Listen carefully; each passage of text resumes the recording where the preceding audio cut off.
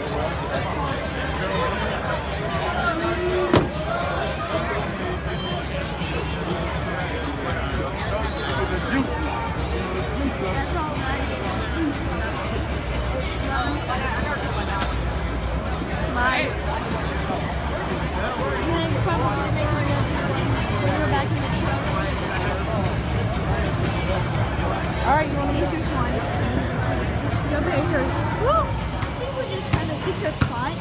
This is below the stadium. This is like completely way back in, yeah. Uh, I'll just. Oh